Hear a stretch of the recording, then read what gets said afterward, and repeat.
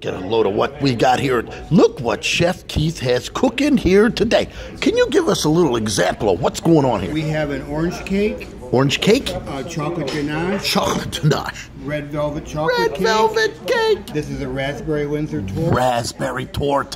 white chocolate ganache, My God, look at that white chocolate ganache. carrot cake, Carrot cake. And this is a cheesecake in a jar. Look, peppermint cheesecake. look at all that goodness. Peppermint cheesecake. Oh, did you say you had bread pudding too? Uh, I could make it happen. Well, you can make bread pudding happen? Yeah, sure. You can make that happen? Yeah. For me? Yes. Listen to that, huh? How- Would it be a nice big one? Yeah.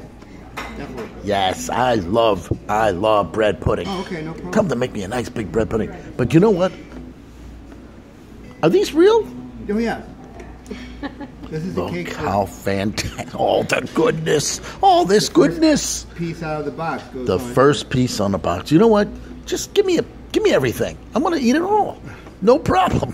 My Facebook friends worldwide will say, Eddy, you're you're crazy, but you know what? I want everything.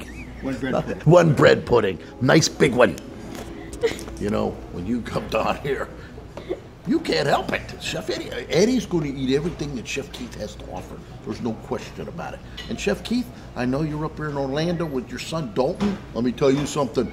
I loved your meat today. That was the best thing going tonight. And now I'm going to get a little bit of your dessert, and I'm going to enjoy it all night long. Woo!